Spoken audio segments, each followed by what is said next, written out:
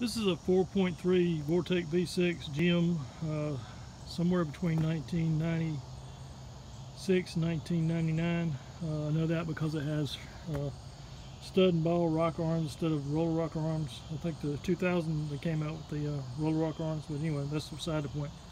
Um, I've just pulled the intake off, and um, this engine was supposedly um, sold was sold to me full of water and oil mix because it had a blown head gasket. But um, I have a hunch that it's not the case. Um, I believe what happened was um, the infamous uh, Dexcool got this engine. The uh, You see the remnants of the intake gasket right here, come around here? Well, that gasket is, is basically uh, uh disintegrated and, and you can see it right here good. Let me show you this side. See how the gasket's all wavy and not really holding its shape? The Dexcool plat the Dexcool eats the plastic. There's a really good spot right there. So I just pull this intake off. It's probably original, and Dexcool is what does this. It disintegrates the plastic. The gasket starts going out of shape, and then you end up with uh, probably right here water leaking down into the oil. Um, can't tell if it was here or over here on the other corner, but this is a classic example of. Uh, there's another spot where the gasket's falling apart. Dexcool destroys these plastic. It's not the rubber part as much as it is the plastic uh, piece there.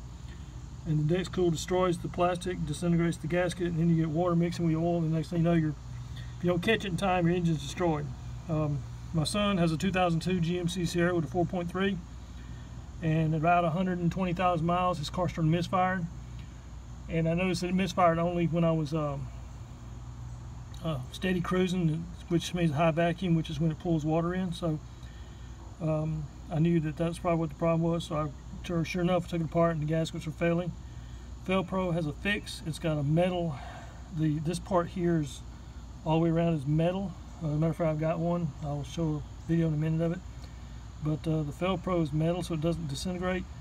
I still wouldn't use Dexcool. If you change these gaskets, I would flush all the Dexcool out and put in the uh, old-fashioned green Prestone type antifreeze.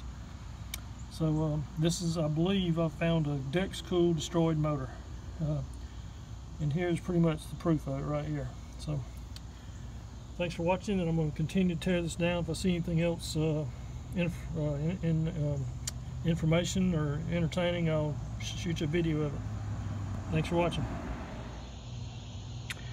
Okay, as I mentioned earlier, um, has a, a, metal gasket that solves the Dexcool problem, at least makes it better. Um, you see how it's got a metal backing. Uh, this metal backing doesn't disintegrate with the Dexcool and it keeps the gasket intact.